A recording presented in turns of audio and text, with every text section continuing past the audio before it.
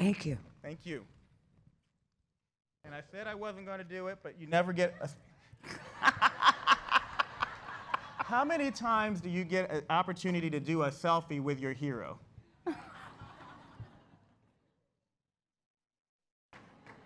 Thank you. Thank, thank, thank you. First of all, I want to let me thank your health commissioner for inviting me, and thank this your committee for inviting me to, be a part of this wonderful conference. If you don't know, you've heard some of the best speakers I've heard on infant mortality. Just let me tell you, you did. You know, and I've heard lots of speakers speak on infant mortality. And if you hear nothing else, you've had a good day. I think that when you we heard about the things that they're doing in uh, at the Cincinnati Cradle of Care, we were all impressed and felt that they were really doing some good things to make a difference. And you know, I'm going to go home and tell my husband that I'm gonna have to do better. Uh, you know, I, I, I'm I'm sure that you know I, I felt oh you can't change the baby's diaper, you know, and so I, but our two sons, you know, when it's important, even now they'll come and we'll be chatting about everything, and they'll say, "Ma, I need to talk to Daddy." So uh, so I do. I, I was very I was very impressed and thought we had a wonderful talk. Well, I'm very pleased to be here and to be a part of your Labor of Love Summit and on what you're doing to help re- reduce infant mortality. So, we all know that we have too many babies die each year in our, in our country. We have more than 4 million babies born in the United States each year, but 23,000 die or died in 2014. And I want you to know that I was just asked what was the number when I was Surgeon General. It was more than 40,000. And we used to talk about the infant mortality being 40,000, but we, we've done a good job, but it's not good enough. We're still far behind what many coun- countries do. I have some things on my slide that I'm going to skip up rather rapidly, mostly because you've heard it already. And I, so I won't, don't, won't need to talk about, uh, we all know that if you lose a baby, that that's serious business. We all know that low birth weight is the leading cause of infant mortality in the world. We know that nothing is better. I always say the uterus is the best place in the world for a baby until they get up to about 3,000 grams. And the infant mortality is the lowest in normal weight infants, from 3,000 to 3,500 grams. We know that anytime they are less than 2,500, we call them low birth weight. And the infant mortality increases very rapidly as the weight go down. And our neonatologists are excellent. And they've made a great big difference with all of their knowledge and technology and what they do in those level three high, high level nurseries. But when they get down below a thousand grams, the infant mortality rapidly increases. We know that low birth weight infants are 40 times more likely to die in the neonatal period. This is less than 1,500 gram babies are 200 times more likely to die in the neonatal period. And we've already mentioned the low birth weight markedly decreased in the past decade. And we don't know why. I think it's because of the many things many of you are doing in your communities, and you've heard about many of those already. And you've also heard about that our neonatologists just are so much better off, but we've still, sadly, ranked behind 27 other industrialized nations. And that's not good. You all, you've already learned that infant mortality is the death of a baby before they get to their first birthday. And the infant mortality rate is the number of infants who die uh, per number of live births.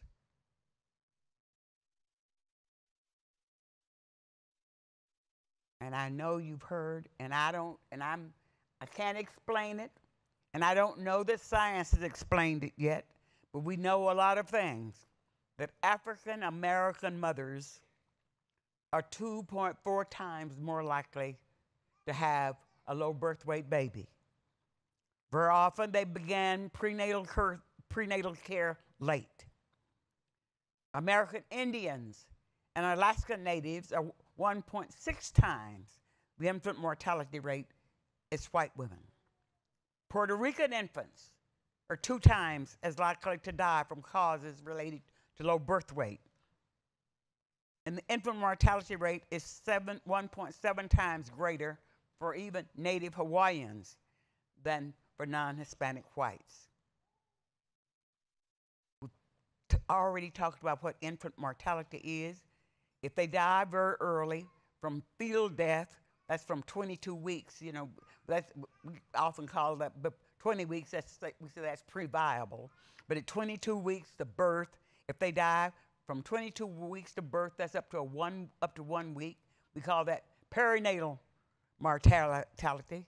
Neonatal mortality is uh, if they die from birth to 28 days, and if we call it post neonatal death, it's from 29 days up to one year. So this is that's just how the definitions are. Some countries sometimes there's some question. Uh, the reason why our infant mortality may look as bad as it does sometimes is that some countries don't, you know, those 22 weekers, they, they, they, they, they count them as stillbirths. They don't, they don't count them. So, but, but we, we count if they're born. And so, so that's, that's how we, that's just, those are just definitions.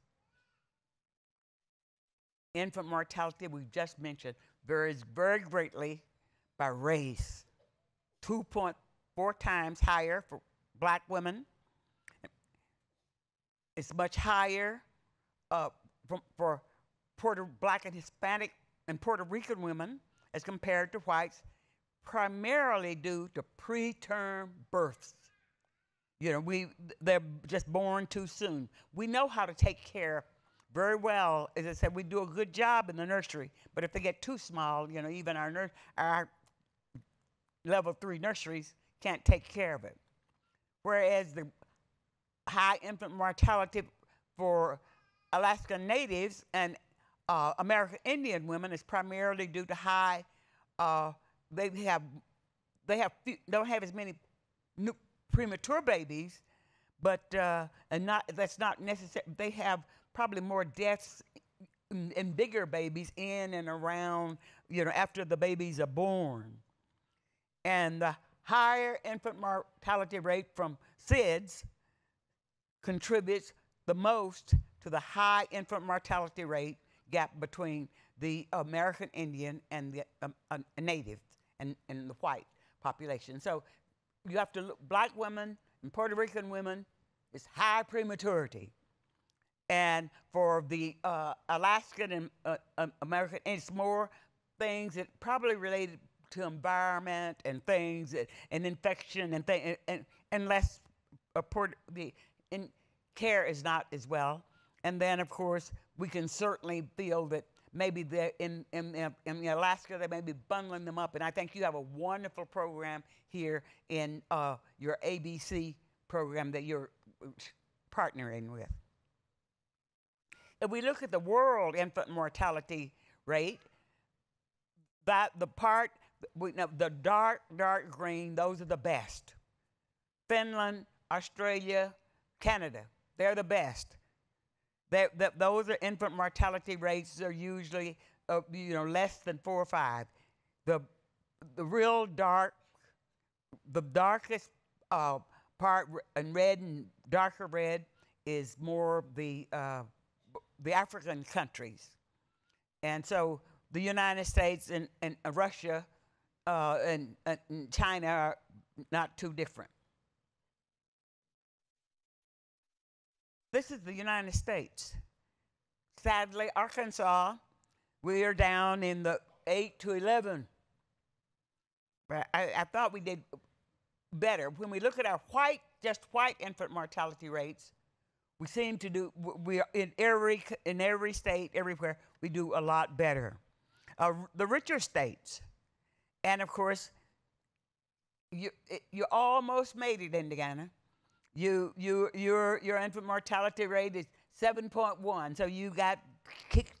You, eh, we we're still down at, in the 7.2, uh, but you, you went from 7.2 to 7.1. But this is the light blue, light blue or states with infant mortality rates less than four up before or less. And of course, when the six is the lighter blue, and of course, uh, the more red you have, the worse you are.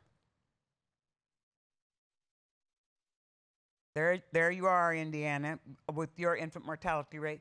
But what I put this slide up to show your state, and as you can know, what you have this is not infant mortality rate, but this correlates very well with the, the overall death rate and how well people do.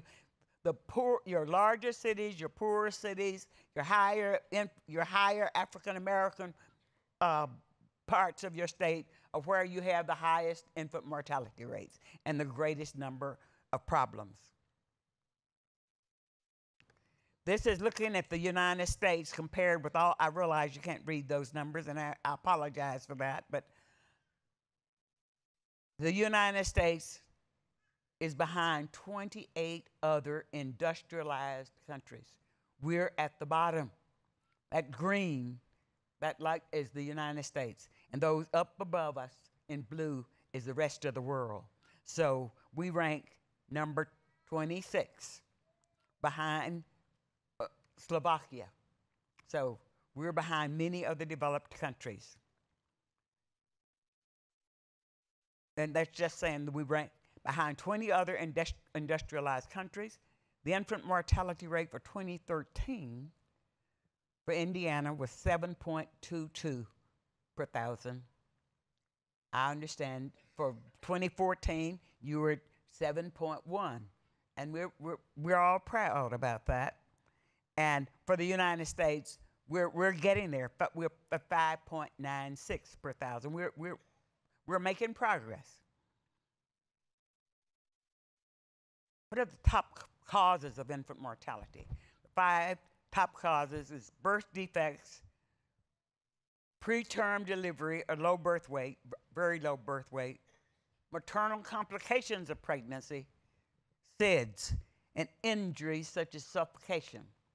And again, I think the, your ABC program and the fact that you're partnering with other people, other institutions, including athletes, the Colts, to provide blankets, uh, sacks for babies to sleep in. You know, as I said, I remember when I was at home, we, we wanted to put babies on their stomachs to sleep so they wouldn't aspirate you know, uh, when, if they vomit. Well, of course, now we all know about your wonderful back to sleep program. You know, parents felt, well, they need to sleep with them. Uh, they had to keep their babies to sleep with them. You know, I've, I've gotten where people come to my house with a baby. I take out the drawer or whatever. I said, I'm sorry, your baby can't sleep in the bed with you. I said, what if something happened to it in my house? Yeah, what, what I'm saying is we have to make sure, and, but, uh, but you're, you, you know, make sure they're alone. You know, often, as I said, parents will put the babies on their stomach i- i- and go to sleep and, and turn over and sleep on them. And they don't, you know, they, they, they're meaning well. So these are things that, that we have to do and really try and want to really make a real difference. And I'm, we're proud of, proud of what you're, you're doing. What are some of the factors contributing to infant mortality? Well, you, uh, we've, uh, we've preterm birth for the whole world is the most important contributing factor. Poverty, lower education. You know, we have to get the schools involved. We've got to educate parents, educate children, educate the community, educate the church, educate the pastors. Every, everybody has got to be involved in making a difference. We know that people that you heard you heard why people that are unmarried may like more likely have a higher infant mortality rate. You know, we you know they didn't have that wonderful contribution and support of fathers and the stress that's associated with not having a father. I don't know what I would have done without my husband. I guess I would have. I don't know. I, I probably we don't, we don't like to think about that. Ah. Being African American, uh, we know that African American women, for whatever reason, but you know, when they looked at African, and they found that this was true, you know, the Army did a very large study where they knew all of the women got the same amount, prenatal care, you know, had the same good doctors, same support system, and they still had low birth weight babies, uh, are more likely to have a low birth weight baby. And then when they compared college educated black women with high school white women, they found that the college educated black women had more likely to have a low birth weight baby than the high school white women. So what we don't know all of the factors, but we know that stress is a very important and real factor. And, and I think probably contributes, you know, the uh, diversity that we have in our, in our system. We're the most diverse country in the world. We have more, we speak more than 28 different languages in our country. So other countries are far more homogeneous. We know that makes a real difference. Well, you know if you're poor, you're living in a poor environmental conditions. And of course, we've got to educate our politicians. They've got to understand the importance of addressing the factors that we need to address. I think when we were talking about fathers, you know, we said, well, why haven't we done something about that? Well, you know, we haven't educated our politicians of the importance of having rules, regulations governing that we need to address this.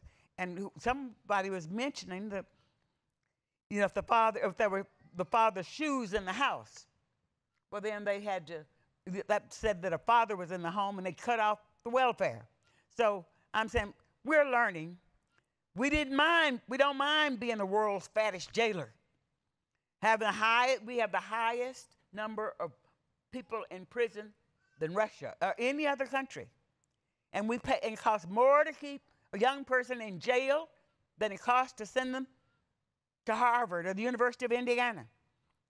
So I'm saying that, you know, I think that we've got to start listening to some of the facts that we've known for years and done nothing with them. And we've got to educate our politicians. Well, we, I think probably our health departments have made sure we have clean drinking water. But in some of the developed countries, that's not true. We know that immunizations, you know, that mothers have appropriate immunizations, uh, you know, and, and, get, and that they, these are up to date. And of course, our public health infrastructure very much influence the health of the, of the baby and what's going to go on. So I think that that's uh, what are some of the things we know? We know our population is changing. We're getting older. We're getting more diverse. And by 2045, it used to be 2050, the minority population will make up, will, make up uh, 50% of our population. So we, these are things we've got to address. The nature of disease is changing. Disparities are persistent. We've been saying we were working, we've been working on them for 100 years. We're still working on it. But we've got to do something about it if we're going to make a difference. And I mentioned we've got, we've got the most expensive sick care system in the world. And if you get sick, we know how to take care of you. But we haven't learned how to keep you well. And that goes for all of our society as well as for our babies. And I think that we've got to do more, do a better job with that. And, and we've got to focus on preventing problems, not focus on how well we can, we can take care of them after they happen. So, the best way to reduce infant mortality, absolutely the best way, is to make sure we have a full term or as close to term baby, and we've got to prevent premature births as much as we can. And there's, there are some things that we can do. our population data. We know the world population is presently over 7 billion. The US population, we make about 5% of the US of the world population. 74 million children, and we seniors are coming along. We're, push, we're pushing you. And I'm, I'm proud about that. That just means we're living longer. But uh, you have to take care of us now. And I've told you how many prisoners we've got, but we've got to keep these babies coming along so they can take good care of us. Our ethnic diversity at the present time, we're about 63% European American, uh, 30, 13% African American, uh, 15% Hispanic. So uh, we're very diverse. Now, medical system is best suited to know how to take care of diseases of the past. We know how to take care of acute infections. And we've got to learn how to take care of chronic disease because 75% of our new diseases are our diseases that we've gotten are chronic diseases, and we're doing better with that. And we don't take good care of our premature babies. Many of them can end up, you know, we may save their life, but they may have chronic problems forever. And I put this slide in. There's an old ancient uh, Chinese proverb, and it says, "If we don't change our direction, we're likely to end up where we're headed." And I think that that's true. We've got to change how we're thinking about things and change what we're doing and how we're doing it. We know we've got disparities in healthcare and the quality of healthcare. We've got problems related to the system, related to the provider, as well as our patients. We, you know, some, you know, we often talk about how well we give all of our patients the same. Well, though most of you in this room know that sameness is not good enough. That won't get the job done. You know, I, I remember my obstetrician was saying, here, we, we're talking about an eighth grade, someone with a sixth or eighth grade education who, uh, who was unmarried, uh, uh, very poor, and my obstetrician was saying, well, you know, he gave her the, the same information that he gave me. Well, that just won't hack it. And so we have to know that because many of them can't even read. You know, most of our pop, most of our education was written for at least eighth grade education, and many of some of our people are sixth graders, so reading level. We know that healthcare disparities is the difference in, in care of experience by one population compared to another. And we, I, you've heard this several times the difference between healthcare disparities and health and healthcare disparities. Let's talk about health equity for just a minute. Healthy People 2020 defines health equity as the attainment of the highest level of health for all people. And achieving health equity, we got to va- value everyone's health. And I thought this was just a wonderful slide. I'm sorry the very top of it is cut, cut off, but it looks at the difference between equality. If, you, if they're looking at a baseball game or a football game or whatever, and they're looking over a fence, if you provide the tallest kid, the medium sized kid, and the shortest, well, then that, that you may provide them the same, equally the same everything, but you won't help the one that's the shortest. Whereas a very short kid there, uh, you can give him two levels, and finally he can be able to see over the fence. But if you remove all the barriers, they all can see with, without the support. Some of the solutions to healthcare inequity is we, we, they get diagnosed early. Our affordable care is helping a lot, but we, we know that it needs fixing. We've got to have we've got to have better patient education. We've got to have more preventive health care. Fewer penalties for our safety net hospitals. We've got wider access because they have wider access to high technology. We've got a better primary care. We've got to have a social system that supports healthcare and our social determinants. We already know all the different groups that's affected. That's all the different groups. You know, if you get old, if you have gender, social poor, uneducated, they're all we're all affected. If we look at the social determinants of health, you know, we can have the best doctors in the world, But if we don't have, we, if they do- don't get health care, if they lack education, if they have poor housing, poor physical environment, all of these things, income, race relations, our justice system, we've mentioned the, maybe the stress is a thing that affect many of our minority women, all affect the health outcomes. Our health goals of 2020, we aren't going to get there. We want a society in which all people live long, healthy lives. What can we do? Pregnancy outcomes are influenced by a woman's health and differ by factors such as race, ex- ethnicity, age, location, and all those other good things. So, some of the things we can do to help have healthier babies is have women focus on being healthy before they get pregnant. Have a planned, wanted pregnancy. And not, not having children when they don't, don't want to have children. Prevent unplanned pregnancies. We've got to address health issues with their health care provider before they start adopting. And we've got to adopt healthy lifestyles. Now, you heard about not smoking. We all know that smoking causes the baby to have a lower weight, lower birth weight. Not drinking. You know, we've we've had, eh, uh, you know, alcohol, uh, baby, uh, reduced babies. Remember we, when we used to have all, all the neurological defects, birth, so they added folic acid and make sure the women are taking adequate amounts of folic acid. So we've, you know, fortified everything. So now it's kind of hard not to get enough. We maintaining an ideal body weight, being physically active. Well, you, we all aren't physically active. If you smoke, quit. You know, we get, we need to tell women, just ask them about smoking and tell them to quit if they do. And don't drink excessively and don't use street drugs. And make sure they get all the screening management for everything they do. And you know, we all go out and take any kind of medication.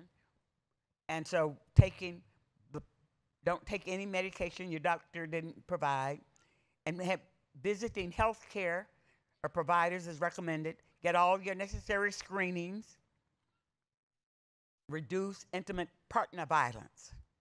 We know that that's a real problem. We talk about fathers, but sometimes the fathers and the intimate partners may not necessarily be the same, but we've talked about whoever is- a significant other in the home and and learning as much as we can about the family history.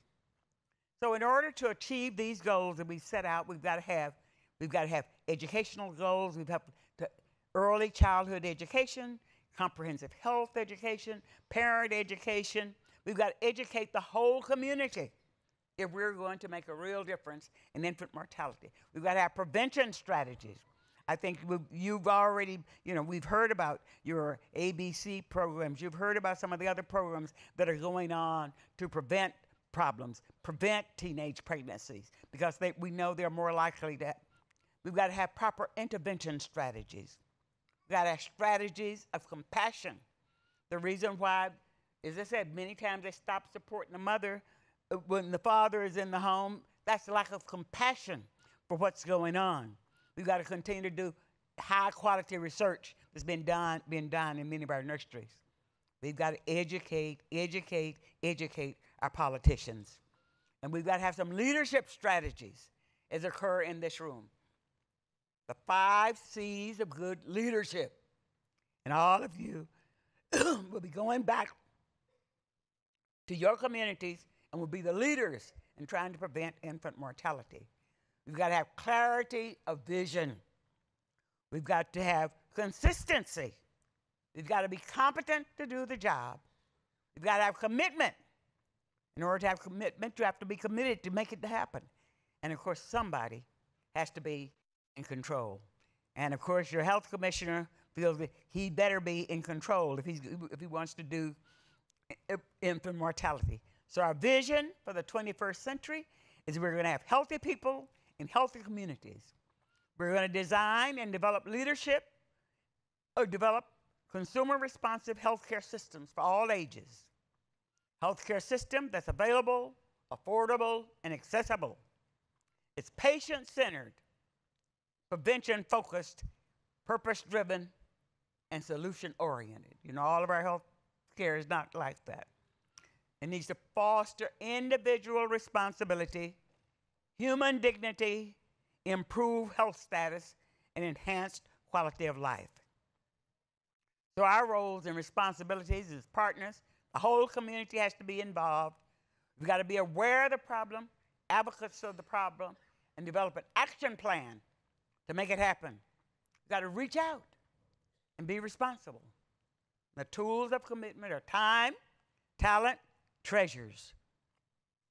For the end and partners, we've got to nurture and determine what the needs of our community are, are and we've got to do it now. We've got to educate and empower everybody that's involved. We've got to have research, rules, reg- and regulations, and we've got to be successful. We can't afford to fail. The most important thing we've got to do is educate our community. The only, Benjamin Franklin said many years ago, so the only thing more expensive than education is ignorance. And of course, we are all aware of how that happens. There's an old Igbo saying, it says, not to know is bad. Not to want to know is worse. Not to hope is unthinkable. But not to care is absolutely unforgivable. And so we as a society, we have to know that a society grows great when old men and old women plant shoe, trees under whose shade they know they'll never sit.